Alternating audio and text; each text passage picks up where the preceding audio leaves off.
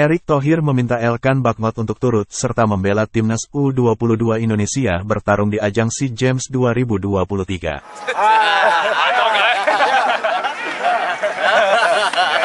Yeah, I talk after. Yeah, yeah, okay, sure. Think about it, okay?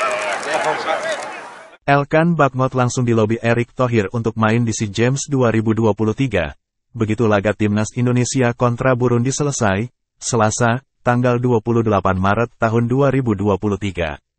Erick Thohir menanyakan kesiapan Elkan Bakmot untuk bermain di SEA Games 2023 mendatang. Elkan, akan kembali untuk SEA Games, tanya Erick Thohir. Saya pikir setelah ini, kata Elkan Bakmot sambil tertawa lepas bersama Erick. Erick pun kembali menjelaskan bila Indonesia sudah lebih dari 30 tahun tak merebut medali emas. Sebelumnya, Indra Syafri mengaku tak akan memaksa Elkan Bakmot untuk SEA Games 2023. Hal ini dikarenakan kemungkinan kecil dari klub Elkan Bakmot untuk melepasnya karena SEA Games tak masuk kalender FIFA Matchday.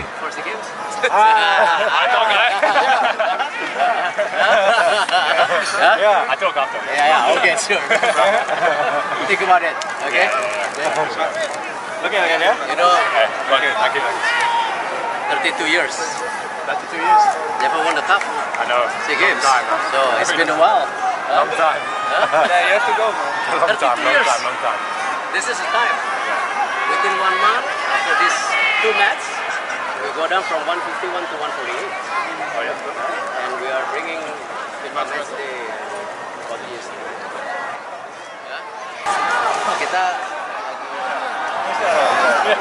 terakhir